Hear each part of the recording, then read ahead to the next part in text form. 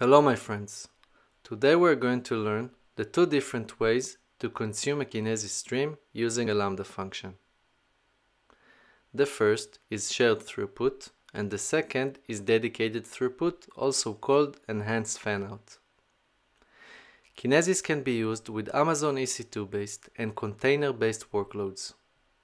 However, its integration with AWS Lambda can make it a useful data source for serverless applications. Using Lambda as a stream consumer can also help minimize the amount of operational overhead for managing streaming applications. When choosing Lambda as a Kinesis stream consumer, it's very important to understand the characteristics of each type, its use cases, pricing, and the different trade-offs.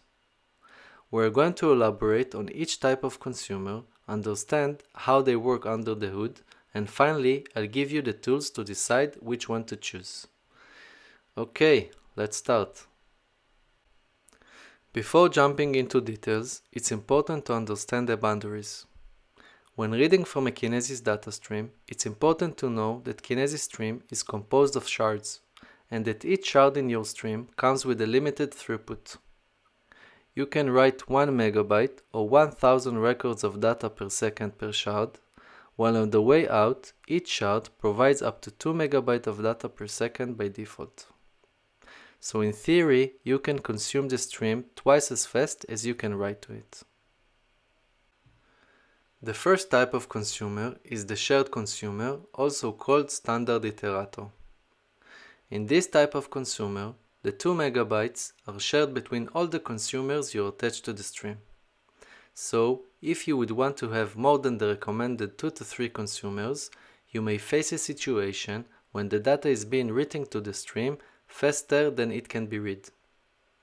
This in turn may lead to the following situations. The first is an increase in the propagation delay. Propagation delay is defined as the end-to-end -end latency from the moment a record is written to the stream until it is read by a consumer application. The second is data expiration.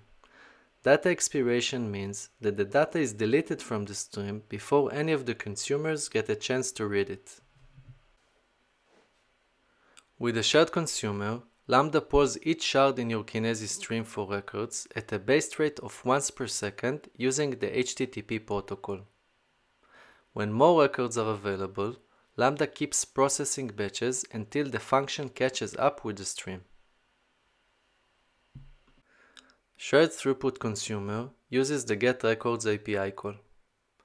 There can be at most 5 get records called made per second in each shard. This limit also means that you can have at most 5 different consumers using the shared throughput before they start to get throttled. The 5 get records request limit also means that the records can be read from the stream once every 200 milliseconds and the latency increases with each additional consumer that shares the throughput. Moving on to the second type of a stream consumer, which is a dedicated throughput consumer, also known as an enhanced fanout.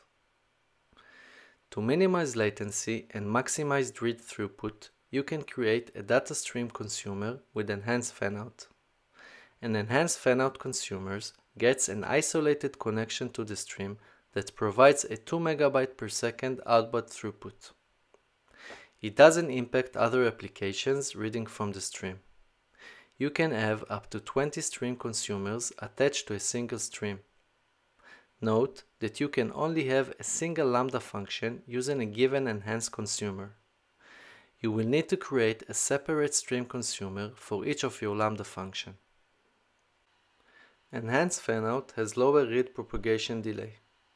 Propagation delay is defined as the end-to-end -end latency from the moment a record is written to the stream until it is read by a consumer application. This is because Enhanced Fanout uses HTTP2, which uses persistent connections and push records to the consumers over a long-lived connection. With Enhanced Fanout, records can be delivered from producers to consumers in 70 milliseconds or better. So instead of using the Get Records API, we use the Subscribe to Shard API. Given these points, you are probably now thinking which stream consumer to choose, right? Well, let's talk about it and see a comparison between the two. Enhanced fanout has lower read propagation delay. This is because enhanced fanout uses HTTP2 which uses persistent connections and push records to the consumers using the subscribe to shard API call instead of shared throughput that uses HTTP using the get records API and pulls from the stream. When using enhanced fanout, you will have records available to be processed about 70 milliseconds after you wrote them to the stream. In comparison, this takes about 200 milliseconds for the shared throughput consumers, and the latency increases with each additional consumer that shares the throughput. You can also use both shared throughput and enhanced fanout with the same Kinesis stream. This allows you to have up to 20 consumers with dedicated throughput as well as 2 to 3 consumers that will share the 2 megabyte throughput. It's important to mention that reading data from a stream using enhanced fanout has cost dimensions associated with it, while shared throughput will cost you nothing. There is additional hourly charge per enhanced fanout consumer and charge per gigabyte of enhanced fanout data retrieval costs. It's advisable to use standard consumers when there are less than 3 consuming applications and your use cases aren't sensitive to latency. Enhanced fanout is better for use cases that require low latency for message delivery to consumer or when the number of consumers is bigger than 3. That's it for the first part of my Kinesis with Lambda tutorial consuming a Kinesis data stream.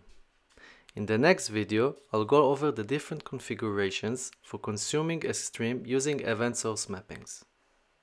Please let me know if you have any questions down below. I hope you enjoyed and it gave you value.